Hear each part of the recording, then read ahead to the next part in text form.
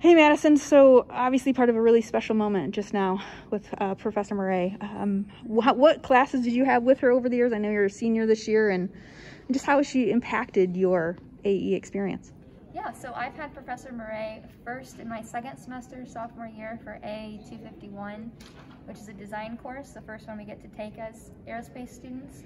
And then I had her for two following semesters for AE 490, which was a special research course in space system safety and she has just impacted my experience in AAE in every way that she could. I mean, I believe it was the second week of class in 251. I walked in and she asked me, Hey, what's your name? And I just didn't think much of it. And then the next class, she said, Hi, Madison, as I walked in. Mm. And with a class of, I don't know, 80 or 90 students, that just really spoke out to me. I never had a professor do that before, and it just really stood with me.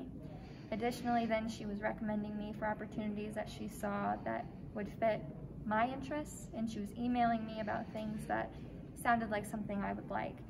And that's just something that I, again, have never experienced with any mm-hmm. other teacher, professor in my life, and the fact that she has so many students that look up to her and she's able to do this for many of her students that she gets to know individually is just truly incredible.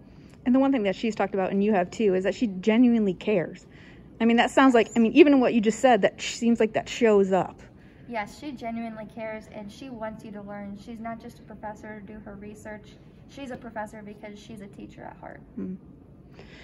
Okay, Joey, same for you. So what's kind of your background? Um, well, let's see. I had Professor Marais for AE 251. Um, also, like Madison, I had her in um, both 490 semesters that she taught her uh, safety and um, space systems class. So that was a lot of fun. Got to take uh, that with her and learn a lot of things. Um, and then I also had Dr. Marais for um, a 200 and 300, so both seminars, mm -hmm. uh, mm-hmm. sophomore and uh, junior year. Um, but kind of piggybacking sort of off of what Madison said, um, I was floored the day I walked into 251 and um, I went to go pick up my notes and she handed them to me and she said, and what's your name? And I introduced myself. And then the next day when I went and I picked up my notes, she called me by my name, and I just couldn't believe that she actually like, you know, was able to do that and you know cared enough to do that. And um, so that, that really that really stood out to me. And then um, uh, another thing that you know Dr. Marais really kind of impacted me with was kind of she kind of makes her students like believe in themselves. Um, mm. So I was, uh, as you know, Miss Clardy, I was you know nominated to host the AAE banquet, and I couldn't understand why for the life of me. I was like, you know, I'm Joey, I'm, you know, nobody special. Like, there's so many kids here that are, you know, much more, you know, impressive than me. And I found out that, you know, she was the one that kind of recommended me for it. So, you know, I just shot her an email to say thank you for, you know, the kind words. And I'll never forget, she just said, you'll be awesome. And, you know, that hmm. really kind of stood out to me and just made me kind of feel like I could really do, you know, anything I put my mind to. And, um, you know, certainly something I don't think I would have believed in myself if it wasn't for her to kind of give me that nudge. So, um, that's definitely kind of how she's impacted me here at Purdue. And it's interesting, 200 and 300 can be, by her own admission, pretty boring courses that people just have to get through, right?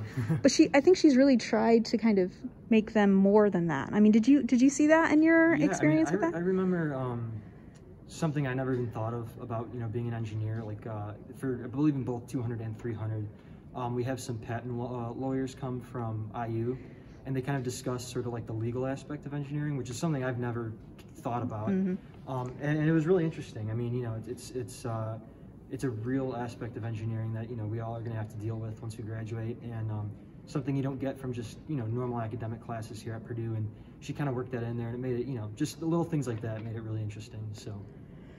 One more for you, Madison. You are obviously really heavily involved in this award process. Can you just kind of explain what that was about and, and why specifically Professor Marais was somebody that you were excited to be able to, to see what just happened right now, to be able to kind of celebrate that. Yes, absolutely. So at the beginning of the semester, Professor Marais emailed me, and she's done so much for me in terms of letters of recommendation and everything. Um, I was surprised to see this was the one time she's asked me for something, and that was to represent her for this award, as she needed a student representative to um, uphold her case. And so I did at the College of Engineering level, and then I went on to represent the entire College of Engineering, so she was one of the nominees. And I was just so excited to represent her because, like I said, she's done so much for me that I felt like I could give a little piece back to her. Mm-hmm. And, and it's just a fraction of all the effort that she's put into all of her students over the years.